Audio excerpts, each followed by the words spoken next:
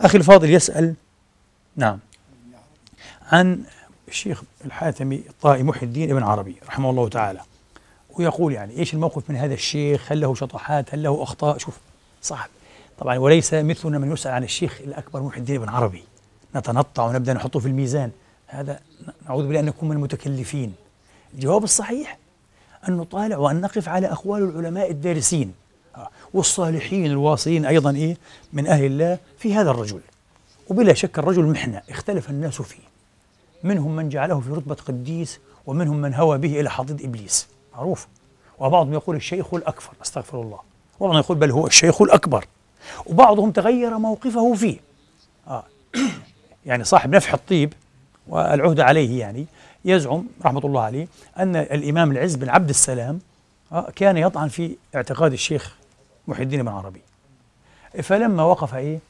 يعني على بعض الحقائق من بعض إيه؟ العلماء والعارفين آه تغير رأيه فيه تماما.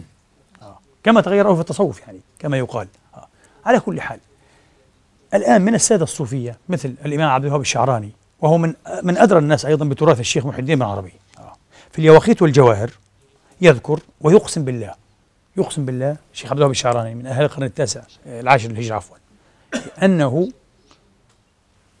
رأى شيخا عالما عارفا بالله من اليمن. هذا الشيخ عنده النسخة الأصلية من الفتوحات المكية المكتوبة بخط الشيخ هكذا يقول. وأراها للشيخ إيه؟ عبد الوهاب الشعراني. ويقسم الشيخ عبد الوهاب أنها خالية من كل تلك الكفريات التي أخذت على الشيخ محي الدين العربي خاصة الكفريات الوحدوية. التي تصرح فيها بوحدة إيه؟ الوجود. طبعا من قرأ إيه؟ الوصايا. طبعت مجردة وهي من الفتوحات طبعا في آخرها طبعت في مجلد. يقول لك وصايا الشيخ الأكبر. واضح جدا جدا أن الرجل يقول بالبينونة وأنه ليس من أهل الوحدة. ويشهد الله يقول وملائكته ورسله والمؤمنين على عقيدته هكذا. يقول وأن الله بائن من خلقه. فالخالق خالق والمخلوق مخلوق. ما في وحدة. صرح بهذا.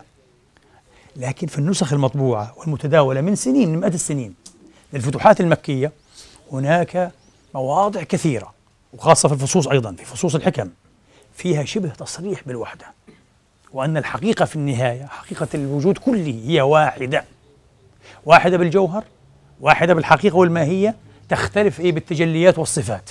هذا ملخص إيه ما يفهم من كلام الشيخ رحمة الله عليه. الله أعلم. فهذا ما زعمه الشيخ عبد الوهاب الشعراني.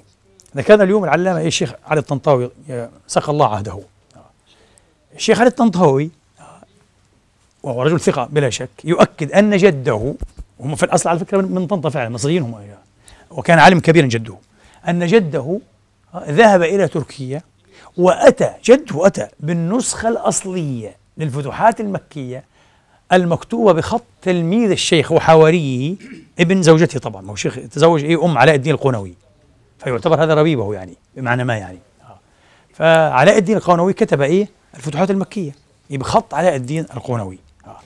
والشيخ علي الطنطاوي يؤكد عاد أن كل من اطلع على هذه النسخة تحتوي على تلك إيه؟ الكفريات أو الموسومة بالكفريات موجودة فيها. فالمسألة أصبحت مشكلة. فيها فعلا إيه؟ إشكال تحتاج يعني إلى تفتيش أكثر من هذا. في نهاية المطاف الشيخ محمود أبو الشامات رحمة الله تعالى عليه شيخ من شيوخ بلاد الشام وعارف بالله وفقيه وشاعر وكان تقريبا أحد أساتذة السلطان عبد الحميد الثاني كان أستاذه. أنا قرأت يعني بخط السلطان وخط السلطان عبد الحميد بالعربية جميل جدا كأجمل ما تكون خطوط. بخط يده بعث للشيخ محمود أبو شمت رسالة ويقول له أقبل أياديكم يا شيخي أو يا أستاذنا فكان أستاذ السلطان عبد الحميد فشيخ ثقة يعني. الشيخ محمود أبو الشمات عرض له أو سنح له في المنام الشيخ محي الدين ابن عربي.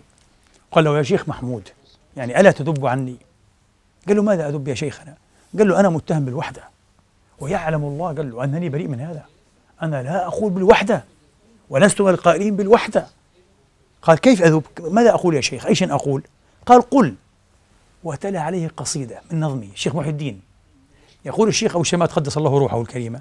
فاستفقت من منام وأنا أحفظها على ظهر قلبي. وفعلا من يذهب إلى ضريح الشيخ في سفح قاسيون أه؟ على ضريح الشيخ مكتوبة قصيدة هي هذه القصيدة. كتبها الشيخ محمود أبو الشمات أو عمر كتابتها أه وكتبت وهي تبرئة إيه للشيخ مما رمي. فالقضية مشكلة. لذلك نحن وجدنا متأخري يعني يعني أو بعض متأخري صالحي الصوفية والفقهاء مثل الشيخ العلامة محمد الحامد آه الإعلام المجاهد شيخ حماة وشيخ سوريا في وقته كان ينصح دائما. المريدين وتلاميذه ألا يقرأوا في الفتوحات المكية. يقول لهم هذه لها أهلها.